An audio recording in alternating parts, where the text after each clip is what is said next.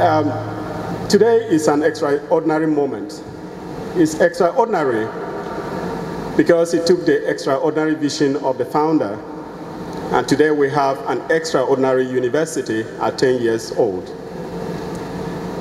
It's taking the extraordinary thirst for knowledge by young men and women, and we have an entry class. It's taking the extraordinary efforts by members of our community, faculty, staff, students, to make the university function. Most especially, let me ask the members of the admission team to stand.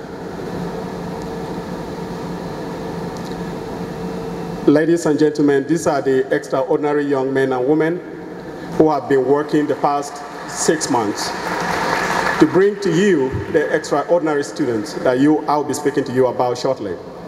Thank you, uh, Ms. Muwasin Bea. Thank you, Ms. Yonodu Esun. Thank you, uh, Verse.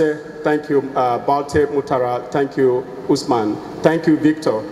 Thank all of you. Please join me. Let's give them another round of applause. You may be seated. May I ask the class of 2018 to please stand? Ladies and gentlemen, there are a few things about this class that I would like to share with you. We started this search with uh, over 700 applications. They come from a very diverse background.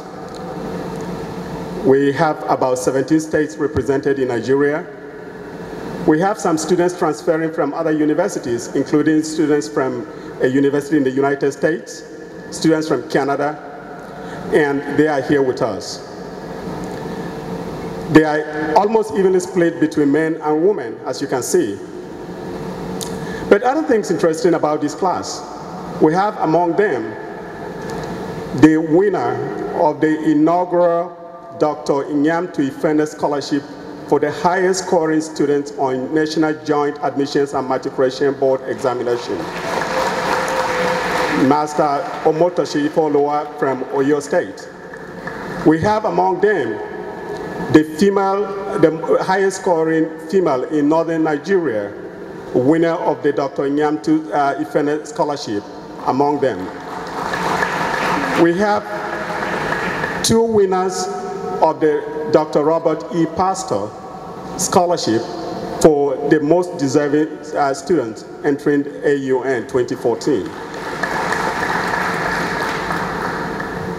Madam President, I hereby present to you candidates who have scored and met all the requirements for admission for acceptance as students of the American University of Nigeria for the class of fall 2014.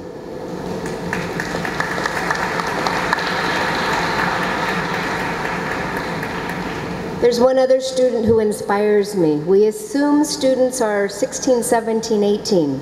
In this centering class, we have a member of the AUN staff, I believe the electrical department, who's worked for us for six years who's saved and worked so hard so he can now get an AUN education. I welcome you. By the power vested in me by the AUN Board of Trustees, we welcome you to the American University of Nigeria. What a wonderful class. A big round of applause for them. Ahead and sit, and I think we'll move to the, the pledge ceremony. So this pledge ceremony is an old tradition, a tradition from the United States, going back to Thomas Jefferson, who wrote our Declaration of Independence and was a founding father. He then went on to start the University of Virginia. And he started this tradition in America that was just with students to uphold a pledge, a code of honor. But AUN is not just a university of students, it's our faculty, it's our staff, it's our parents, it's our members of the Board of Trustees. It's one family.